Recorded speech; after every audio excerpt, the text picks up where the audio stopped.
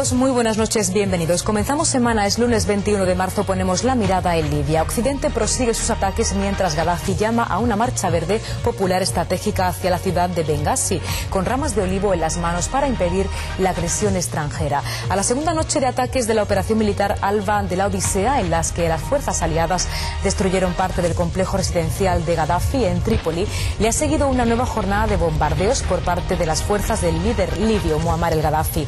A menos de eso ha confirmado la emisora televisiva Al Jazeera, citando a testigos. El cielo de Libia no ha parado de iluminarse, ya que aviones franceses han vuelto a despegar esta mañana de sus bases para reanudar por tercer día consecutivo las operaciones en Libia, según información del Ministerio de Defensa. Estados Unidos ha celebrado el éxito de la operación inicial, aunque también ha admitido que Gaddafi podría mantenerse al poder. La ministra de Defensa, Carmen Chacón ha analizado con el Estado Mayor de la Defensa el desarrollo de la misión de los militares españoles en Libia en el marco de la operación internacional. Chacón ha estudiado con los jefes militares el desarrollo de la operación internacional en Libia para dar cumplimiento a la resolución 1973 de Naciones Unidas para proteger a la población del país árabe, según el comunicado. España participa en esta misión con cuatro aviones de combate F-18 que realizan patrullas aéreas y una avión una fragata F-100, un submarino y un avión de vigilancia marítima. La intervención en el establecimiento de una zona de exclusión aérea en Libia movilizará alrededor de 450 efectivos militares españoles.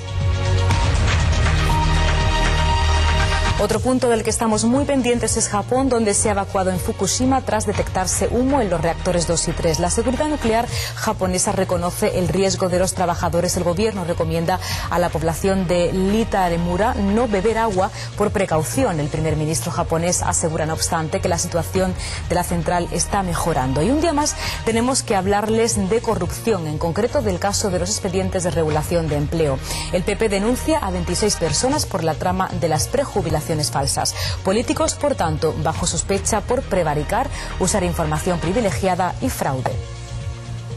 Este lunes el PP andaluz presenta a los juzgados de Sevilla una querella dirigida contra un total de 26 personas entre altos cargos y es altos cargos de la Junta de Andalucía. Uno de ellos el exconsejero de empleo de la Junta, Antonio Fernández, o el actual director general de este departamento, así como intermediarios y beneficiarios de pólizas irregulares relacionadas con expedientes de regulación de empleo. Desde el PP explican que esta querella atribuye a los denunciados la presunta comisión de uno o varios delitos de malversación de caudales públicos cohecho, prevaricación, tráfico de influencias, uso de información privilegiada, fraude en las subvenciones y en la contratación administrativa, así como falsedades en documentos públicos y mercantiles.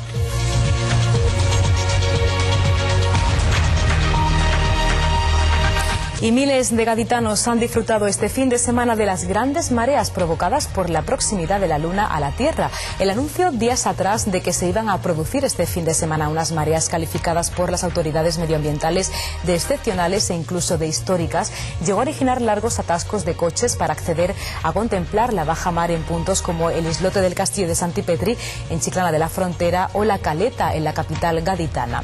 Según pescadores y marineros de la zona más excepcionales que la las mareas, que según dicen se han registrado en ocasiones anteriores, han sido las riadas de gente que aguardaban en las costas para ver la primera de las mareas bajas afectadas por la mayor proximidad que la Luna ha tenido a la Tierra desde hacía 19 años. Científicos y voluntarios recorrieron la zona para estudiar y documentar todos estos detalles provocados por estas mareas.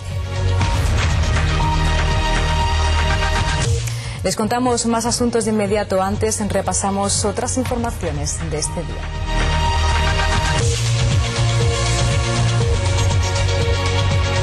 María Dolores de Cospeda ha recriminado hoy al PSOE que se entretenga en buscar al sucesor de Zapatero y futuro jefe de la oposición, mientras a los ciudadanos y al PP les preocupa el desempleo y el déficit desde comisiones obreras aseguran que tienen dudas de que con las mismas personas en el PSOE y en el gobierno se cambie de política para alcanzar salir de la crisis. Se indica que hay amenazas en el futuro de la protección social. Caja España, Duero y Unicaja confirman hoy que mantienen conversaciones para una posible fusión sin que hasta el momento hayan adoptado ninguna decisión definitiva al respecto.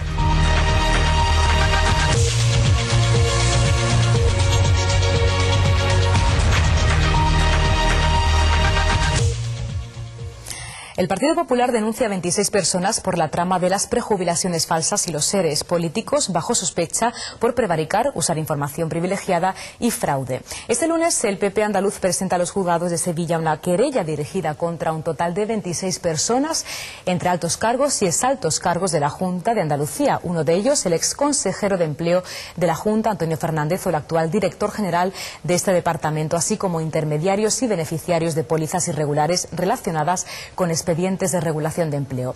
Desde el PP han explicado que la querella atribuye a los denunciados la presunta comisión de uno o varios delitos, como son malversación de caudales públicos, cohecho, prevaricación, tráfico de influencias, uso de información privilegiada, fraude en subvenciones y contratación administrativas. Según indican los populares, es el año 2001 cuando nace la irregularidad en los expedientes de regulación de empleo. Desde el PP andaluz exigen responsabilidades políticas a los responsables de la Junta de Andalucía relacionados con estas irregularidades, empezando por su presidente José Antonio Griñán. Y el PP andaluz argumenta que el análisis de las transferencias realizadas entre 2001 a 2009 evidencia una diferencia de 170 millones de euros entre la liquidación presupuestaria declarada por la Consejería de Empleo y el dinero finalmente librado por los entes autonómicos que gestionaron estas ayudas. Desde el PP andaluz exigen responsabilidades políticas. Los populares destacan que esta querella marca un punto de inflexión en la responsabilidad de José Antonio Griñán en el escándalo de los seres del presidente de la Junta de Andalucía, ya que no puede seguir ocultando su responsabilidad política después de los documentos de la intervención que el PP presentó. Y el presidente del PP andaluz, Javier Arenas, ha destacado que el presidente de la Junta, José Antonio Griñán, no solo conocía el caso de los fraudes detectados en los seres, sino que los tapó y los siguió autorizando. Arenas afirma que hay un informe de la intervención que certifica que eso es así, ha apostillado el presidente de este partido en Andalucía durante su intervención en la clausura de la convención del partido Juntos Hacemos Málaga. Arenas ha recordado que José Antonio Griñán le advirtió de que si seguía con sus acusaciones le iba a presentar una querella pero no lo ha hecho porque el dirigente del PP ha puntualizado lo mantengo y lo exijo que el presidente eh, dimita cuanto antes. Según Arenas, el presidente de la Junta conocía los procedimientos irregulares para el manejo de 600 millones de euros. Hemos demostrado con documentos de la Junta que el señor Liñán conocía los procedimientos irregulares para el manejo de 600 millones de euros. Documento. El señor Viñán dijo la semana pasada que si yo mantenía mis acusaciones, me iba a presentar una querella. Yo no he visto que se presente ninguna querella. La semana pasada dije que el señor Viñán conoció el asunto de la administración de los fondos ERE al margen del derecho administrativo. Lo conoció, lo tapó y lo siguió autorizando. Eso ya no son palabras de arena. Hay un informe de la intervención que lo certifica. Como eso es así, como no me ha presentado ninguna querella, lo mantengo y le exijo que presente la dimisión cuanto antes. Cuanto antes presente la dimisión. Cuanto antes. Pues el consejero de Empleo de la Junta, Manuel Recio, se ha pronunciado sobre este asunto en la inauguración del Centro de Apoyo al Desarrollo Empresarial. Recio afirma que está, que está a la espera del cierre definitivo de los expedientes para enviar los informes al juzgado sevillano. El consejero de Empleo Manuel Recio ha asegurado hoy que el gobierno andaluz está trabajando para esclarecer cuanto antes las presuntas irregularidades en el caso de los SERE. Además, ha explicado que según los datos recogidos hasta el momento de la investigación, las irregularidades podrían haber afectado a un 1% de los expedientes de regulación de empleo. Me faltan lo que son los informes de los grupos de investigación interno y hasta que no tengamos esos informes de los grupos de investigación no, hemos, no podemos dar por concluida lo que es la investigación. Lo que yo le diría al PP es saber si es capaz de actuar con la diligencia que está actuando este consejero y este gobierno, en el sentido de que si tienen conocimiento de que algo está mal, tienen dos alternativas. Una, ponerlo en manos de la justicia, o dos, ponerlo en manos de este consejero que es exactamente igual que si lo pusieran en manos de la justicia. Por otra parte, el consejero ha vuelto a mostrar su convencimiento de que en el segundo semestre de este año se va a generar empleo. Hubiéramos sido, si Newton hubiera sido un economista, un día quería la manzana y otro no. La verdad es que Eh, nosotros, cuando se nos pregunta por predicciones, últimamente cuando el entorno es tan turbulento, no se suele acertar mucho, pero ahora es verdad que el entorno nos permite augurar que en el segundo semestre de este año se creará empleo. Unas declaraciones que el consejero de Empleo Manuel Recio ha realizado durante la inauguración del Centro de Apoyo al Desarrollo Empresarial financiado por la Cámara de Comercio.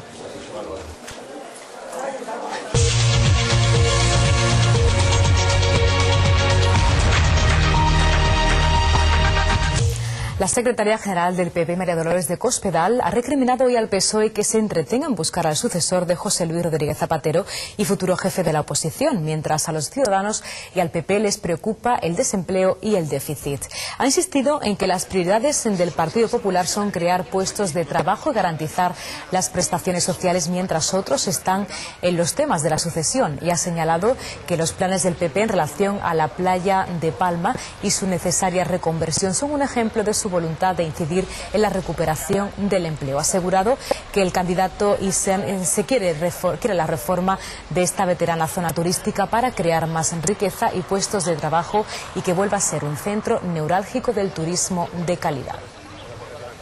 Hay otros, singularmente el Partido Socialista Obrero Español, que se está dedicando estos días y estos últimos meses a entretenerse entre ellos a ver quién va a ser el próximo sucesor de Zapatero, a ver eh, quiénes eh, van a competir en las primarias o a ver cuál va a ser el momento en que Rodríguez Zapatero va a anunciar si se queda o si se va.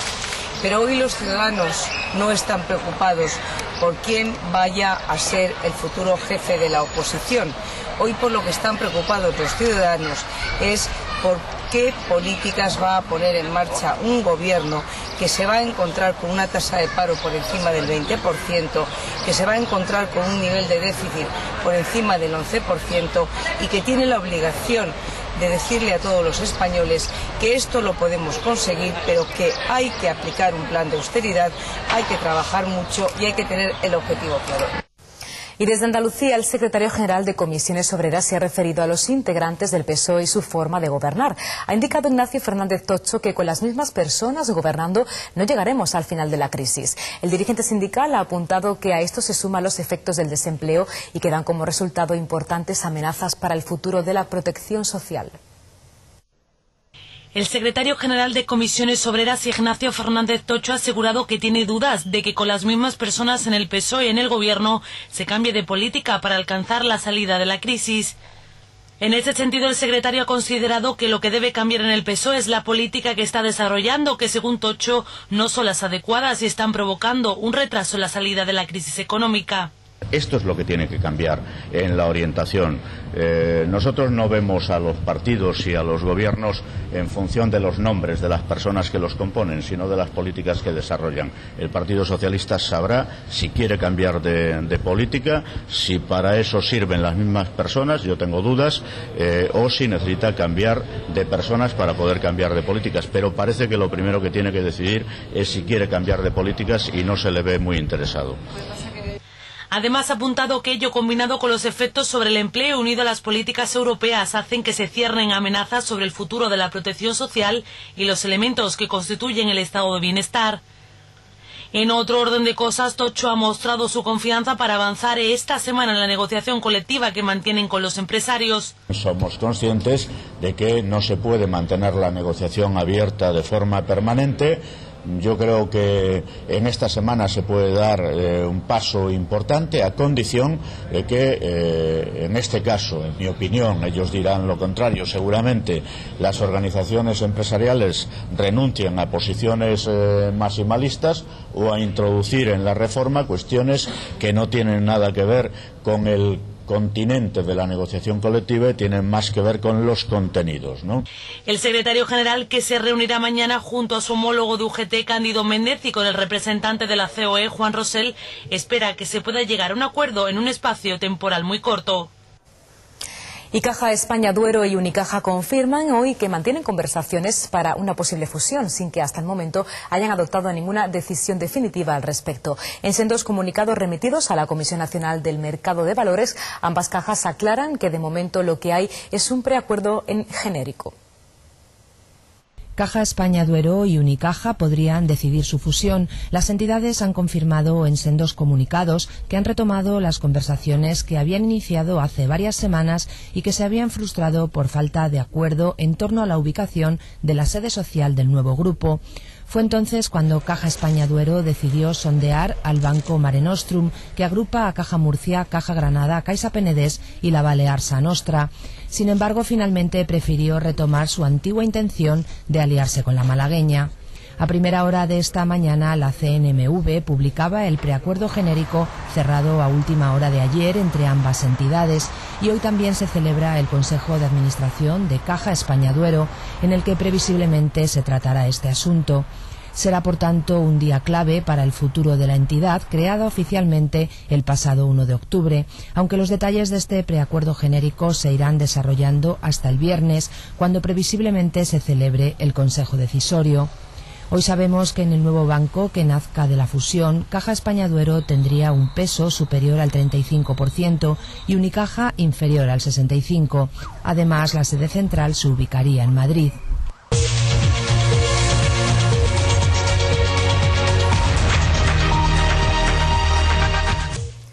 Miramos ahora a Libia y a la misión internacional en esas tierras. Un misil destruye parte del complejo residencial de Gaddafi en Trípoli. El edificio está a 50 metros de la tienda en la que Gaddafi recibía visitas de mandatarios.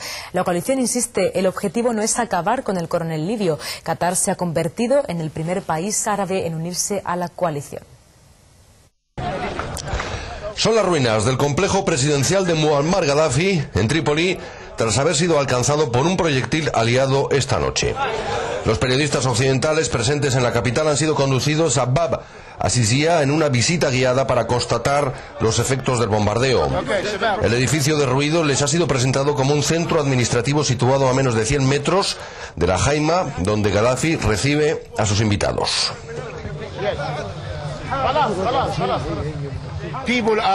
Uh, Esto está lleno de civiles, familias y niños que han venido de todas partes y que se quedan aquí día y noche para proteger este lugar. El cohete cayó a 50 o 100 metros de donde se encuentran estos civiles.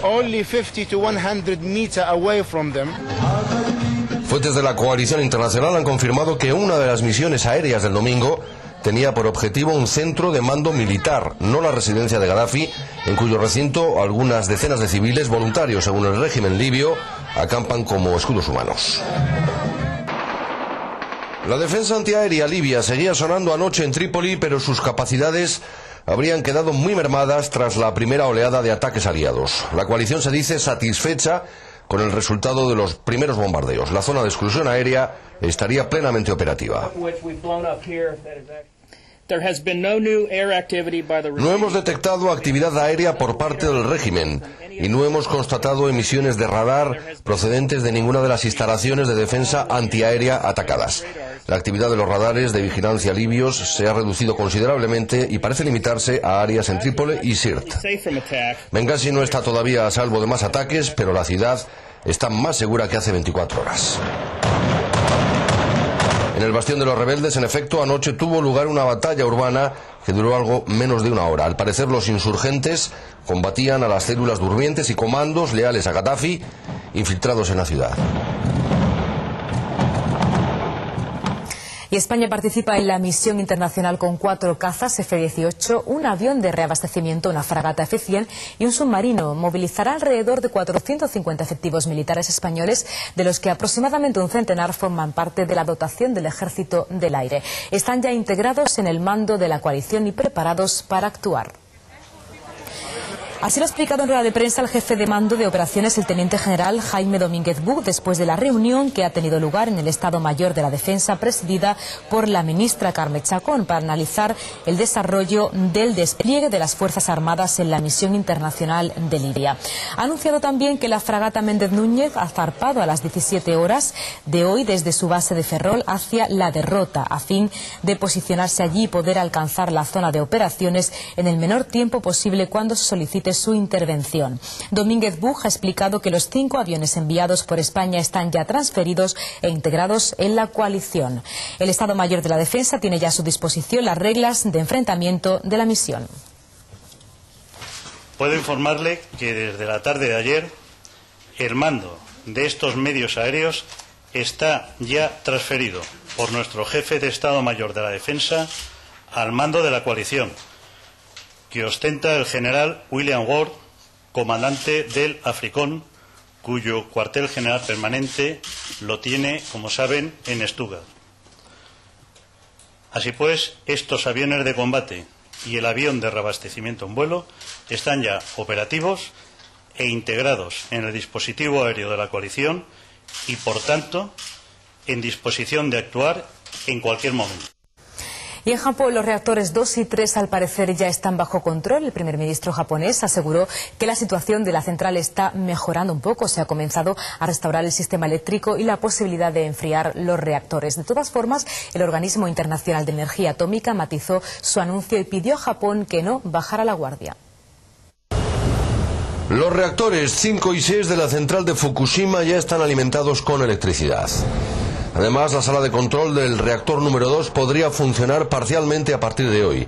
Pero al mismo tiempo el reactor número 3 está aumentando su presión y los técnicos de la planta se están planteando liberar parte del vapor acumulado con el peligro de nuevas emisiones radiactivas. La gran obsesión de los habitantes de la zona es haberse contaminado.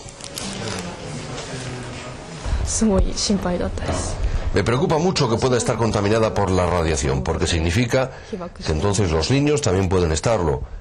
Los niños me preocupan más que yo misma.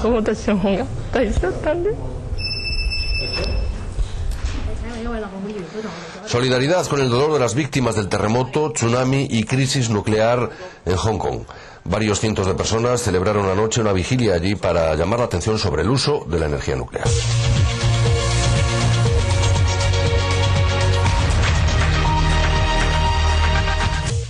Hoy, primer día de la primavera, viene el ansiado buen tiempo, pero el más temido para los alérgicos este año, según esta estación, será agresiva para estas personas.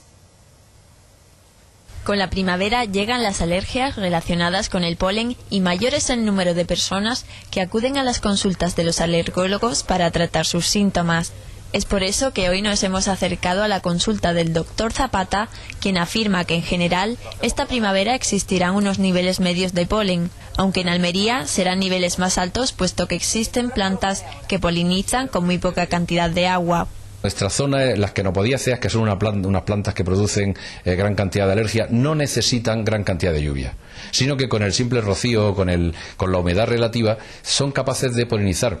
Por tanto, eh, estamos en una zona curiosa, porque tenemos la influencia de las plantas que crecen con gran pluviosidad, pero también tenemos las que crecen con baja pluviosidad. Por tanto, aquí casi está asegurado el que hay una sintomatología más o menos eh, importante durante, sobre todo los meses de abril, mayo, junio. En Almería se estima que el 25% de la población tiene algún tipo de alergia, aunque son los adultos los que presentan una mayor hipersensibilidad al polen de alguna planta. Por ello, es aconsejable revisar a tiempo real los niveles de polen existentes en el aire en la página web www.polenes.com, una herramienta que permitirá a los alérgicos estar preparados. Y jornada de conmemoración el pasado 19 de marzo en Cádiz, un día que coincidió además con sábado y muy buen tiempo, con lo cual los actos lucieron por partida doble. Unos actos que contaron con la presencia de Alberto Ruiz Gallardón, alcalde de Madrid. La alcaldesa de Cádiz expresó su emoción ante los eventos que se aproximan para el próximo año. El 19 de marzo volvió a ser el día de los actos centrales de la conmemoración de la Constitución de 1812. En esta ocasión, como un claro ensayo general para el próximo año, cuando el día de San José sea el inicio real de las celebraciones del Bicentenario. Siendo sábado y con una meteorología espectacular, la ofrenda floral al monumento de las Cortes del Centenario se desarrolló con un toque muy especial. También la presencia de Alberto Ruiz Gallardón como presidente de la Unión de Capitales Iberoamericanas de la Cultura daría un empujón a esta cita constitucional.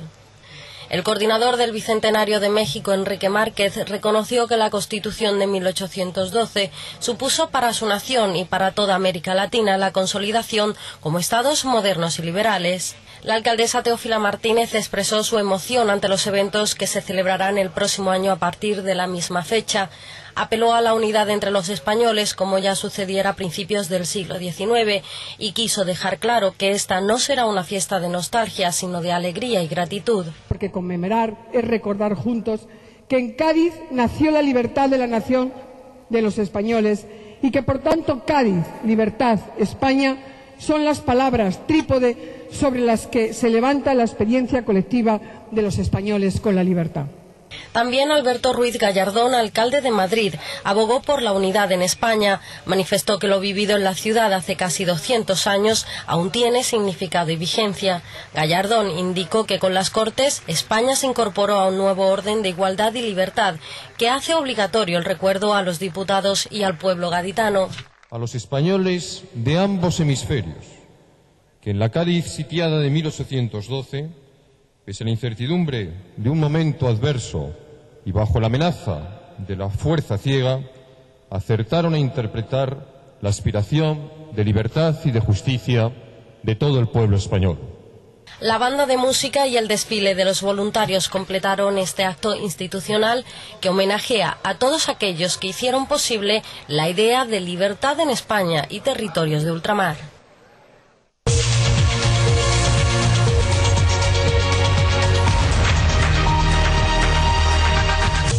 Y conocemos la previsión del tiempo para las próximas horas.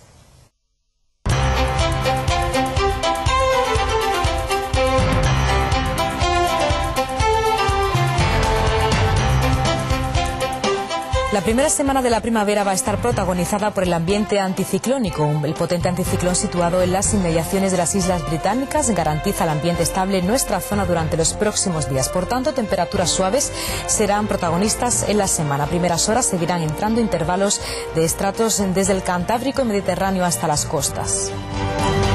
Un ambiente similar tendremos en Andalucía, aunque sí contaremos con brumas matinales. El cielo estará despejado durante las próximas horas.